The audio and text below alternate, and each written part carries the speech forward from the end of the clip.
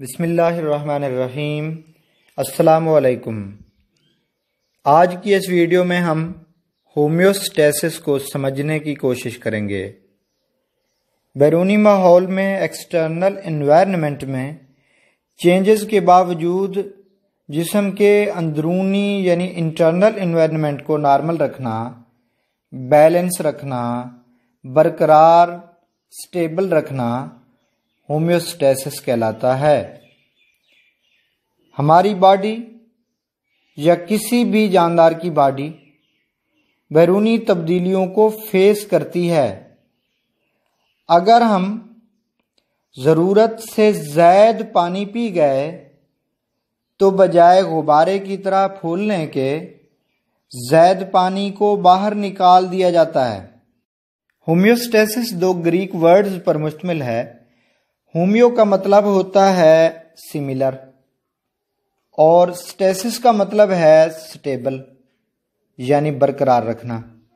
तो होम्योस्टेसिस को हम इस तरह से डिफाइन कर सकते हैं, the protection of internal environment from the harm of fluctuations in external environment is called homeostasis.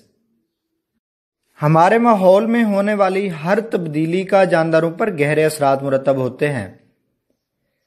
तो हम माहौल में बार बार ये वर्ड यूज़ कर रहे हैं कि इंटरनल इन्वायरमेंट या एक्सटर्नल इन्वायरमेंट तो माहौल भी दो तरह का होता है। एक अंदरूनी यानी इंटरनल इन्वायरमेंट और एक बैरूनी माहौल होता है। एक्सटर्नल इन्वायरमेंट में तब्दीलियों के बावजूद जानदार अपने अंदरूनी माहौल को नॉर्मल रखने की कोशिश करते हैं। मसलन, इंसानी जिस्म का टेम्परेचर है 37 डिग्री सेंटीग्रेड बाहर के माहौल में चाहे टेम्परेचर बढ़ जाए और बढ़कर 40 डिग्री सेंटीग्रेड या उससे भी ऊपर चला जाए या कम होकर ज़ीरो डिग्री सेंटीग्रेड तक चला जाए, तब भी जिस्म का temperature thirty seven degree centigrade ही रहता है। हाँ अगर टेम्परेचर हद से बढ़ जाए तो जिस्म के कंट्रोल से बाहर हो जाता है। तो इस सूरत में आदमी बेहोश हो सकता है या आखिरकार मर भी सकता है। टेम्परेचर को कम करने के लिए पसीना आता है, जिससे जिस्म को ठंडक मिलती है और टेम्परेचर नॉर्मल हो जाता है। इसी तरह सर्द मौसम में शिवरिंग यानी कपकपी होती है। जिसकी वजह से टेम्परेचर नॉर्मल किया जाता है। मुख्तलिफ़ जानदार अपने टेम्परेचर को मुख्तलिफ़ तरीकों से नॉर्मल करते हैं। टेम्परेचर नॉर्मल से बढ़ जाए तो इंजाइम्स का काम रुक जाता है स्लो हो जाता है या इंजाइम्स काम करना छोड़ देते हैं। अगर इंजाइम्स काम ना करें तो एनर्जी नहीं मिलेगी। तो नतीजतन जानदार डेड हो जाएगा। नाक और फेफड़ों में मौजूद म्यूकस, ये जो स्टिकी मादा है, टेम्परेचर को नॉर्मल रखता है। यख बस्ता अगर ठंडी हवा हो, ठंडी हवा में म्यूकस मामूल से ज़्यादा बनता है। इसी तरह बाहर के माहौल में हवा शदीद गर्म भी हो जाए तो भी ज़्यादा म्यूकस निकलता है। यानी उस गर्म हवा को मुनासिब कंट्रोल करने के लिए, नॉर्मल रखने के लिए ताकि जिसम का दर्जा हरारत 37 डिग्री सेंटीग्रेड ही रहे। हालाँकि बाहर की हवा 37 डिग्री सेंटीग्रेड से ज़्यादा गर्म है तो ये म्यूकस का काम है, ये भी होम्योस्टेसिस का एक प्रोसेस है। किसी आदमी को फीवर हो जाए तो उसे डॉक्टर के पास ले जाना ज़रूरी होता है, क्योंकि फीवर में अंदरूनी दर्जा हरारत बढ़ जाता है और जिसम का निज़ाम दरहम बरहम हो जाता है।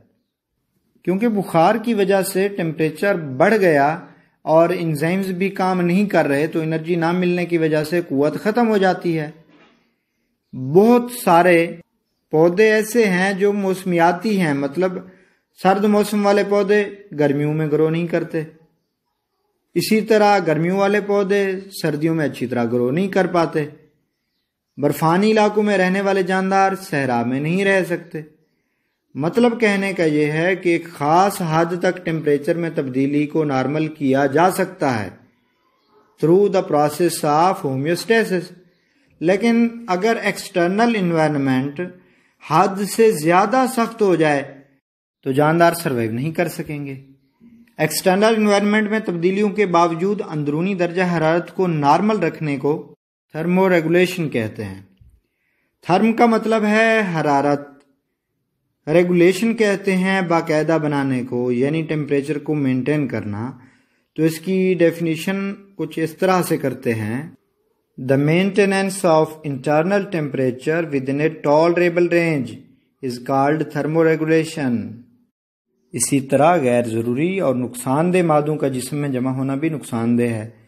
जिसम में नमकियात वगैरह का इजाफा भी अंदरूनी माहौल में बिगाड़ पैदा करता है। तो इसलिए गैर ज़रूरी मादों का जिसम से निकालना भी इंतहाई ज़रूरी है। तो इस अमल को अखराज यानी एक्सक्रीशन कहते हैं। तो इसको हम इस तरह से डिफाइन करेंगे। The mechanism of elimination of nitrogenous waste is called excretion पानी और नमकियात में कमी बेशी भी इंतहाई ख़तरनाक है। गुर्दे इस मामले में अहम किरदार अदा करते हैं। जिसम में अगर इलेक्ट्रोलाइट्स यानी सोडियम और पोटाशियम में कमी बेशी आ जाए तो दिल की धड़कनें मुतासर हो जाती हैं और इंतहाई ख़तरनाक है।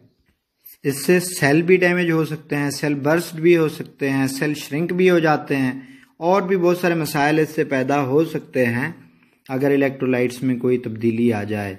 इसीलिए ज़रूरी है कि वाटर और साल्ट्स को नॉर्मल रखा जाए।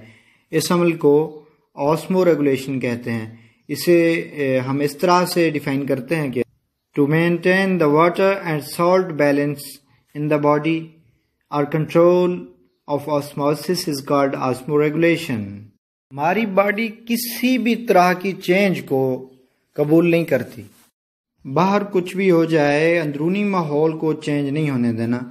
ये अलग बात है कि अगर इन्वायरमेंट हद से ज़्यादा सख्त हो जाए, फिर वो जानदार सरवाइव नहीं कर सकेंगे। तो नेक्स्ट आने वाली वीडियो में हम इन तीनों कंपोनेंट्स की वजाहत करेंगे।